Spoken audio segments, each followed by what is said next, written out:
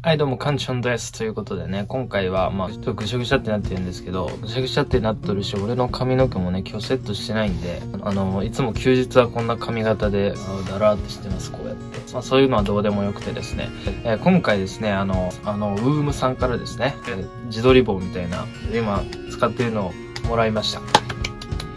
ありがとうございます。ありがとうございます。本日はねその紹介とまあいろいろお話しすることがあるのでねそれのお話やっていきたいなと思うんですけどもね。じゃあ自撮り棒をねちょっと紹介したい。こちらですな。こちらここに今セットできますと。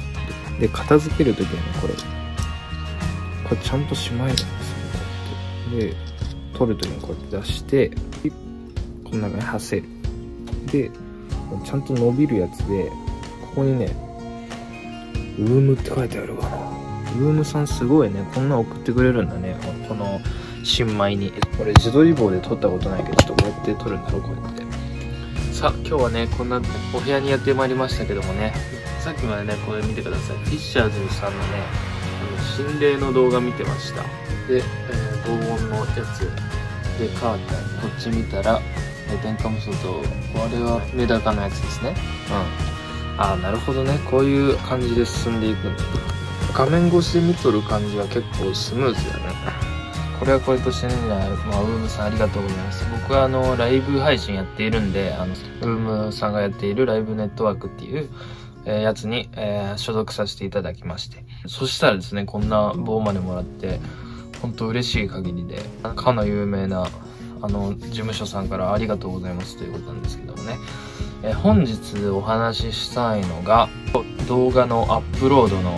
時間というかを変えたいっていうのとか、まあ、どの時間が一番見られるのかっていうのがちょっとわかんないので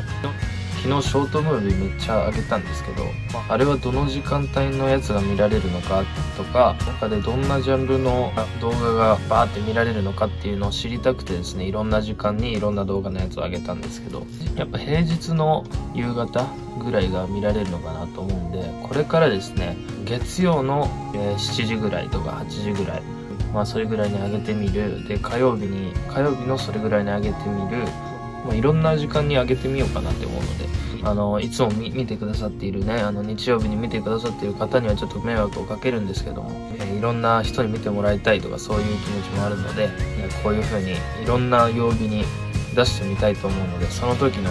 あこの日に出そう、この日に出そうっていうのを僕が勝手に決めて出すので、その時はちょっとよろしくお願いします。で、一番見られた回数のところの時間にもう固定してやりたい。そういう風に思っておりますね。まあ、そういう報告の動画でございます今日は。